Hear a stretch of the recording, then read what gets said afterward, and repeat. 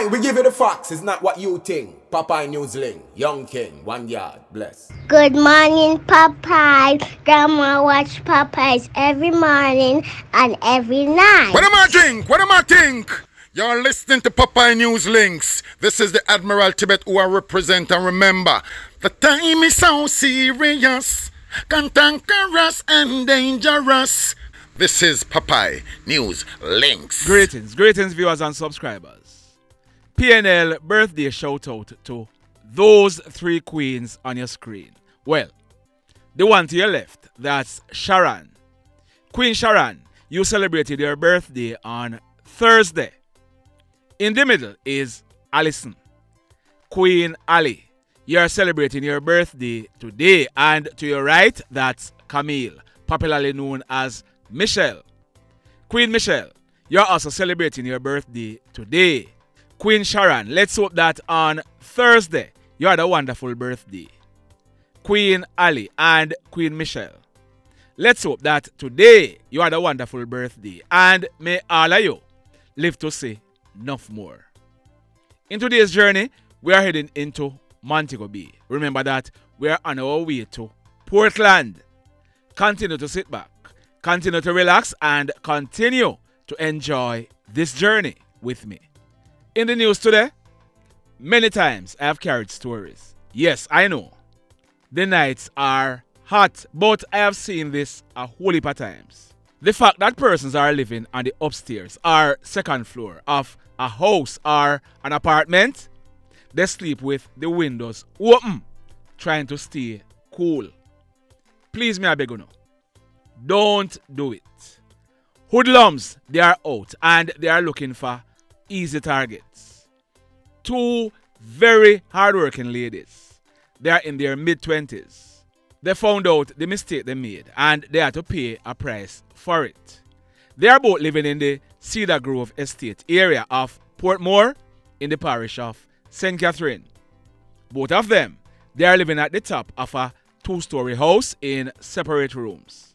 We are told that the two ladies they went to bed Thursday night with their windows open. When they woke up yesterday morning, they realized that their laptops, tablets, phones, cash, their handbags containing their IDs, bank cards, and other valuables were stolen from their room. Hoodlums gained access to the room via the open windows. Can you imagine? Can you just imagine how these ladies felt when they woke up and realized what took place last night? Boy, may I tell you, people, especially ladies, because I've seen this happening more than one time to females, please be alert, be aware of what is happening. Take nothing for granted. In this next story, I got two WhatsApp messages from two different persons asking me how comes I did not carry this incident. So I decided to do some digging and this is what I found out. The incident took place on the early morning of Sunday, October 1, about 6:30. It took place along the Hyde Main Road in the parish of Trelawny. We are learning that a guy his first name is Nickolas. Nickolas is said to be in his early 30s and he's living in the Albertown area of Trelawny. Nickolas, he was driving a white Toyota Mark X motor car. He was traveling from Clarkstown towards Duncan's direction. In the car with him were four females, and we are told that at least two of the females they were on their way to work. The females were one. That female on your screen. Her name is Janequea Johnson. She is 30 years old and Janequea was a waitress. She worked at the Iberostar Hotel in St. James. A 16 year old girl named Sierra Lee. A lady who we are told is in her mid 40s. She's named Suzette. And another lady who we are told might be in her early 50s. She's called Pat. They were all in the car. So they were traveling along the Hyde Main Road. On reaching a section of the road, we are told that Nickolas, he was in the process of negotiating that corner on your screen when he ended up losing control of the Toyota Mark X. And me know if guess if speed or speeding was the cause why Nickolas lost control of the Mark X. As a result of him losing control, the Mark X, it ended up plunging into a gully. And if you look on your screen, that is where the Mark X came to a stop. If you look on your screen now, there is the Mark X. That was the damage that was done to the Mark X. Janequea, she was seriously injured and she ended up dying as a result. Nickolas, the driver, he received injuries to his hands, his neck, and his chest. 16 year old Sierra Lee, Pat, and Suzette, they were also seriously injured. They were rushed to a hospital where they were treated and admitted. Sad indeed. In this next story, this one took place on the evening of Heroes Day, Monday, October 16, almost 7 o'clock. It took place along Great Yard Street in Savanna-la-Mar in the parish of Westmoreland. Now, watch this video.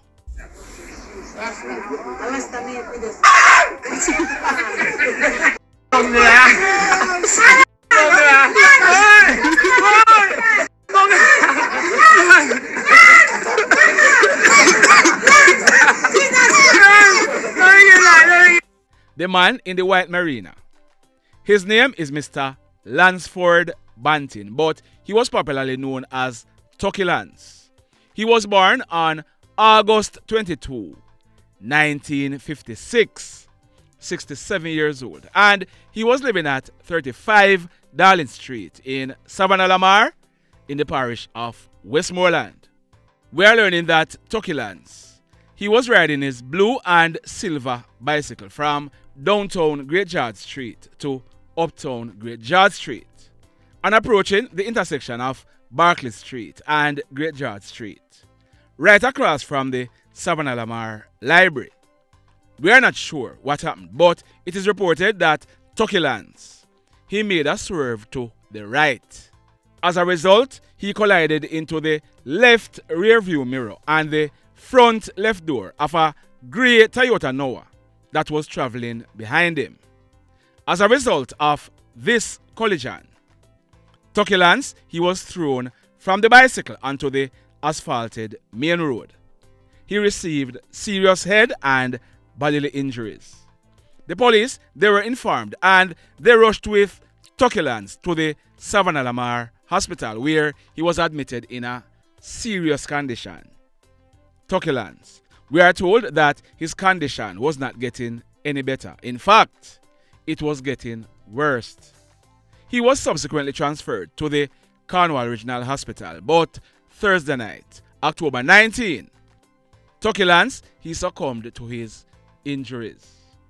Sad indeed. Now, over in the parish of Hanover, we are learning that this morning, Saturday, October 21, about 8.30, there was a fatal accident at the bridge right in the vicinity of the Green Island Primary School. It is said that a man, he ran out onto the main road into the path of a motor car that was driving along the main road. The man, he was hit down and he ended up dying. I'm doing some digging and we'll be updating this story in a subsequent video. Stand by for that. In this next story, this one took place yesterday evening. Friday, October 20, about 6:30. It took place at Texas in the Norwood area of St. James. We are told that residents of the area they heard gunshots being fired and they called the police. When the police went and made checks, a guy, his name is Clayton Brown, but he's popularly known as Richie. Richie was born on July 13, 1983, 40 years old. Richie, he was seen lying on his back at the front of his gate with multiple gunshot wounds to his upper body. Richie appeared to have died on the spot. We are told that when the police processed this crime scene, seven 9mm spent shells were recovered from the scene. The mayhem. The ma- so let me ask you something. let me ask you something. Have you hit on the love button as yet? If you have not yet done so, remember to hit on it. Also, if you are over here watching our videos and you have not yet subscribed, hit on the subscribe button as also hit on the notification bell. Then click all so that whenever we drop a new video, you'll be one of the first to be notified. In the final story for today, on Tuesday, October 17, I carried two stories. There were about two incidents that took place in the Old Harbour Bay area of St. Catherine. In the first incident, I told you that that lady on your screen, her name is Kemeisha Simone Peters, but she was popularly known as Spiggy B. She is 30 years old and she lived at Station Lane in the Old Harbour Bay area of St. Catherine.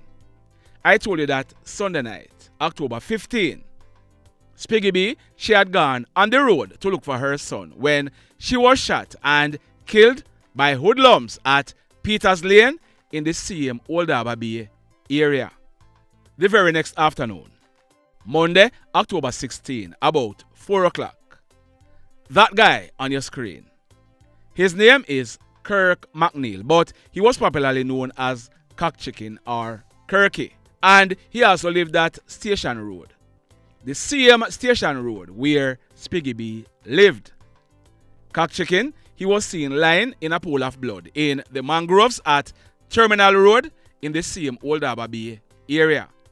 He had received gunshot wounds to his head. Now, when I carried the stories on Tuesday, I had asked if the stories were related and I had promised to do some digging. Well, guess what? I did some digging. Both stories are related. Listen this now. Listen. So remember I told you that Spiggy B, she had gone on the road looking for her son who had left out of the yard. Two things were happening at the same time. Spiggy B, she was walking along the road innocently and four hoodlums went to kill a guy on Peters Lane. We are told that that guy, he's in his mid 20s and he's called Mickel. Listen this now. Four hoodlums went to kill Mickel. One of them, we are told that he's called Patapuss. Another one of the four, he's called Cock Chicken or Kirki. You heard that? Are you following me? So the allegations are that Patapuss, Cock Chicken, and two other hoodlums then make a step to go and kill Mickel. Apparently, Mickel was on the lookout. We are told that Mickel, he was in his yard when the hoodlums arrived. The hoodlums, they saw him and they opened gunfire at him. But Mickel, he managed to run off. The hoodlums chased him, still firing shots at him, but he managed to run away and made good his escape. Spiggy B, who was walking along the road, she was not so lucky. She received gunshot wounds to her abdomen and she died as a result. Remember now, Mickel, he escaped and he knew who his attackers were. So, Cock Chicken, who was identified as one of the four hoodlums, Karma visited him quick and fast. Hoodlums, they put bullets into Cock Chicken's head in the mangroves at Terminal Road, killing him on the spot. Patapuss, he was picked up by the police. His current name is Jahmore Campbell, and like Cock Chicken, he is 21 years old. He's living in the East Bay area of Dagger Bay in Old Harbour Bay. Patapuss, he was charged by the police for murder, really killing of Spiggy B and other firearm related charges. And he'll be going to the courts shortly. The mayhem continues. Blessed love, everybody. Tell a friend for tell a friend for tell a friend about Papa in Newslink and PNL Blog TV. TV. Like, subscribe, and share. With silver sin, if we just unite, what a country this will be. If we just unite, Jamaica live in unity. If we just unite, what a country this will be. Joe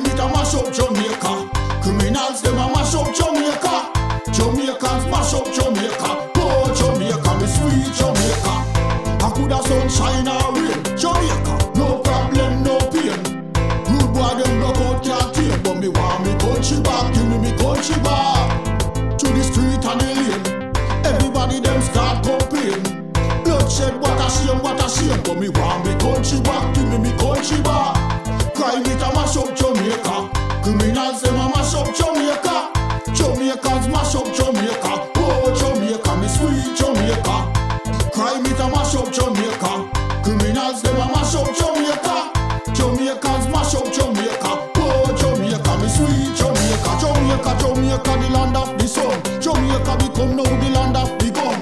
East and north and south when we turn. Country and town, man, I pay blood